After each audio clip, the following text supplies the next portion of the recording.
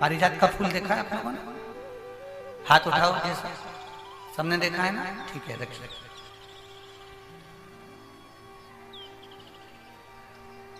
केवल एक ही फूल है, पारिजात का, हार श्रृंगार का,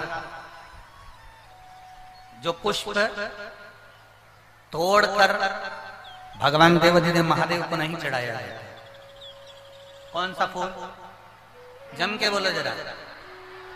केवल एक पुष्प है पारिजात का जो तोड़कर, वृक्ष से तोड़कर, पौधे में से तोड़कर, उस फूल को महादेव पर नहीं चढ़ाया जाता।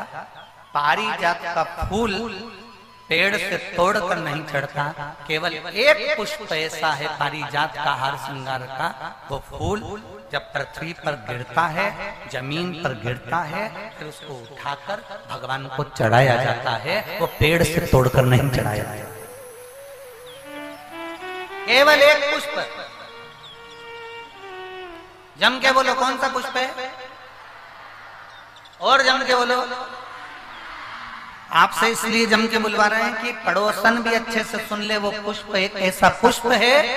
अगर हम गेंदे का फूल तोड़ते हैं, अगर हम धतूरा तोड़ते हैं, हम कोई पत्ती तोड़ते हैं तो वृक्ष से तोड़कर फिर चढ़ा पर महादेव को केवल एक पुष्प ऐसा है, पारिजात का, हार श्रृंगार का पुष्प केवल ऐसा है, जिस पुष्प को तोड़कर नहीं चढ़ाया जाता।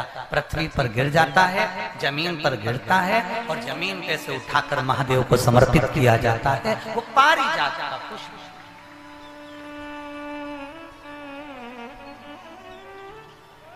बोल बम का नारा है, केवल एक अब अब लोग कहें कि गुरुजी, ये पारिजात का फूल ज़मीन पर गिरता है, फिर उसको उठाकर भगवान को चढ़ाया जाता है तो वो तो ज़मीन पर गिर गया, शुद्ध हो गया, बेकार हो गया, है? लोग कहेंगे कि कीचड़ का है, धूल का है, मिट्टी का है, शिव महापुराण की कथा कहते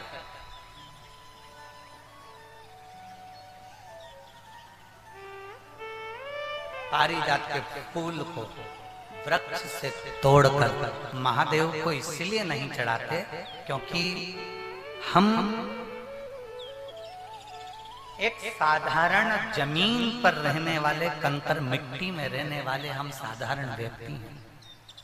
और जब मिट्टी में गिरे हुए पुष्प को जब हम उठाकर भगवान देव अधिदेव महादेव को समर्पित करते हैं तो हम महादेव से ये कहते हैं, बाबा, जैसे ये पारिजात का फूल मिट्टी में गिरा है, धूल में गिरा है, और हमने आपको समर्पित करा है, बाबा, ऐसे ही संसार सागर में हम गिरे हुए हैं, हमको भी स्वीकार करना और अपना अपना हमें भी स्वीकार हे शिव, है त्रिकालदर्शी, है कैलाशी, है अविनाशी हमें स्वीकार उर्वशी अप्सरा पारिजात के पुष्प को लेकर कब खिलते हैं पारिजात के फूल? दिन में की रात को? रात सुबह तक गिर जाते हैं।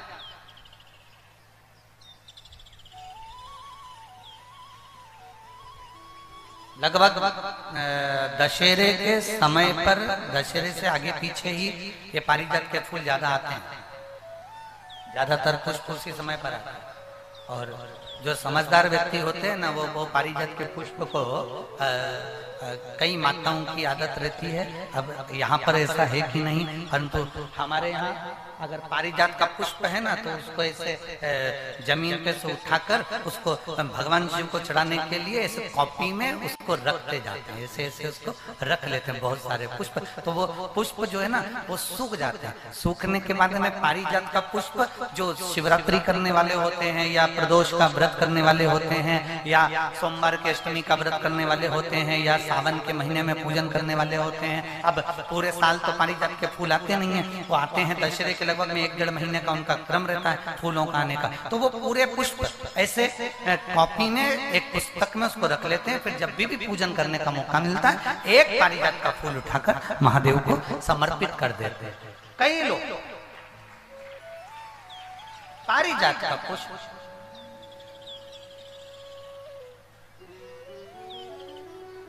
ये वही पुष्प है। जो दुर्वासा जी ने भगवान राम जी से बुलवाया था। अयोध्या में शंकर जी की पूजन के लिए दुर्वासा बाबा बुलवाए थे। ये वो पारिजात पुष्प।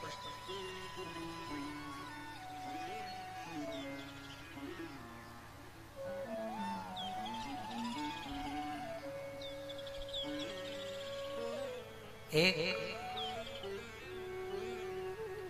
एक पारिजात का पुष्प और पाँच पारिजात वृक्ष की पत्तियाँ बहुत ध्यान देना, बहुत अच्छे से ध्यान देना। एक पारिजात का पुष्प, पाँच पारिजात वृक्ष की पत्तियाँ पाँच बेलपत्र। जितने लोग आस्था पर देख रहे हैं, टीवी पर देख रहे हैं यूट्यूब फेसबुक पर देख रहे हैं, वो थोड़ा सावधानी से पाँच, बेलपत्र, पाँच, पारिजात वृक्ष की पत्तियाँ, एक, पारिजात का पुष्प। प्रयास करा करो कि प्रत्येक प्रदोष पर या प्रत्येक शिवरात्रि पर उसको समर्पित किया प्रयास बेलपत्री भी उठा कर ले आना। पारिजात की पत्तियाँ भी लेकर जाना और पारिजात का जो पुष्प है, वो भी लेकर जाना। एक बार कर कर देखना। जितने लोग वॉकर लेकर चल रहे हैं, जितने लोग लाठी टेक कर चल रहे हैं, जिनकी कमर में प्रॉब्लम हो गई, जिनकी डिक्स की प्रॉब्लम हो गई, जिनके गुरिये खसक गए, या घुटने में गेप आ गया, या डॉक्टर ने कह दिया कि ऑपरेशन करना पड़ेगा, एक बार कर कर देखते पाँच बेलपत्र पाँच पारिजात की पत्तियाँ, एक पुष्प पारिजात का। किसी भी शिवरात्रि पर, हर महीने शिवरात्रि आती है। किसी भी शिवरात्रि पर बाबा को समर्पित करिए। एक लोटा जल समर्पित कर दो और बाबा पतालेश्वर महादेव का नाम लेकर समर्पित कर कर उसको उठा ला। पहले जो बेलपत्री लेकर आए हो, रोज एक बेलपत्री पाँच दिन तक खाना है। फिर पाँच जो पारिजात की पत्तियाँ हैं, उसको रोज एक पत्ती को खाना है।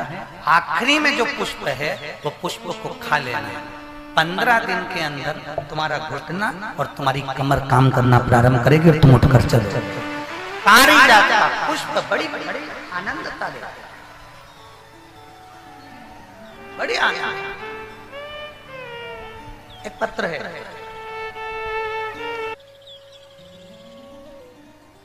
शंकर भगवान को चढ़ा हुआ एक पारिजात का फूल उठाकर, अगर आप ऐसे ही नहीं खा सकते तो उसकी गोली बनाकर खाने का प्रयास और एक और बात आज इस व्यासपीठ से कहना चाहेंगे, पारिजात का जो पुष्प होता है,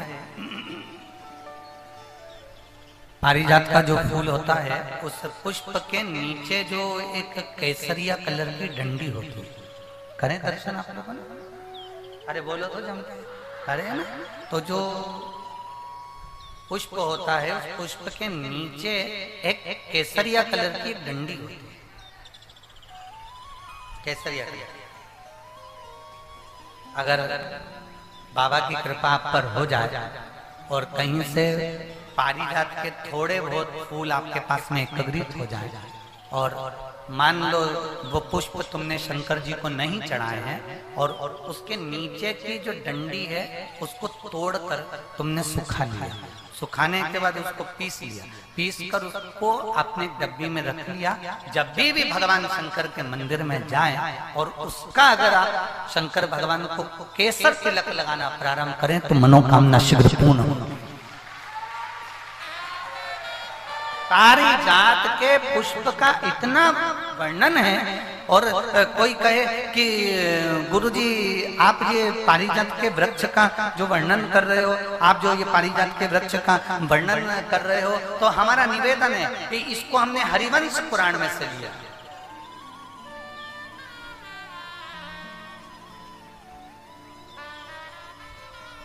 कौन सी पुराण में से? हरिवंश पुराण में से। पारिजात के फूल का वर्णन हरिवंश पुराण के अंतर्गत जो वर्णन किया गया है, पुष्प का जो वर्णन किया गया है, शिव को माता लक्ष्मी भी समर्पित करती है भगवान शंकर को पारिजात का पुष्प।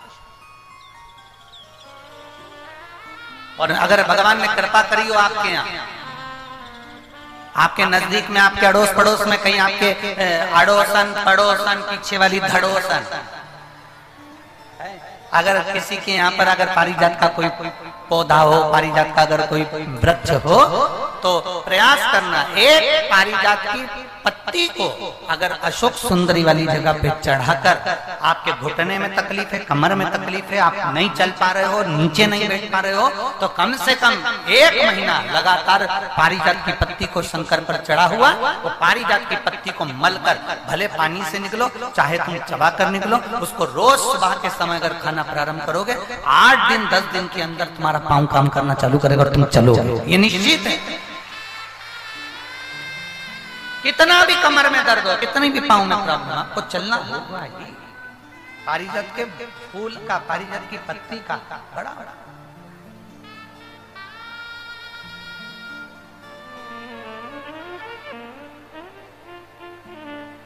समुद्र मंथन के अंदर प्रकट हुए कितने? मंथन में जो प्रकटे हैं, उसमें से एक वृक्ष है पारिजात का वृक्ष, जो मंथन है। समुद्र मंथन में जो प्रकट